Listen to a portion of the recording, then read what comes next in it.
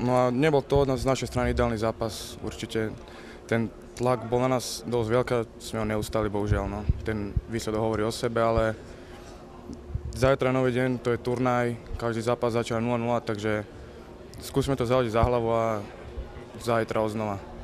20 tisíc ľudí proste kričal Kanada, Kanada, my sme fakt rezignovali úplne, neviem no.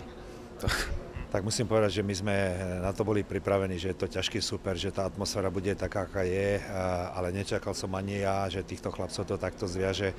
Čo nám trošku uškodilo, naozaj boli tie rýchle góly, kde v 10. minúte sme prehrávali 3-0 to bolo na škodu, pretože už som videl na stredačke, že je zlé, že tí chlapci trošku znervoznili, na niektorých padla depka a niektorých som naozaj nepoznával, pretože si myslím, že vedia lepšie hrať ako dnes, ale potom to padlo asi na celý tým a nešli nám rozhorávky, nešla nám hra 5 na 5 v útoku, v obrane, presilovky takže naozaj e, dnes zlý výkon. Všetko bola len pekná teória, nachystali sme chlapcov, mali videa, mali, púšťali sme im rôzne situácie, púšťali sme im začiatky zápasov Kanady, to znamená, naozaj my sme nepocenili, nepocenili nič, len všetko je len teórie. My keby sme dnes porazili Kanadu, nám to nič nerieši. My naozaj potrebujeme poraziť Nemecko, aby sme išli do play-off, pretože jedno víťazstvo nám nič by neriešilo. A zase keby sme sa s nimi naťahovali možno 60 minút a nič z toho, tak to naozaj my sa musíme sústrediť na tie podstatné zápasy a myslím si, že ten podstatný zápas bude práve s Nemeckom. Či už s Fínskom alebo s Amerikou by sme niečo, eh, by som uhrali aj bodovo,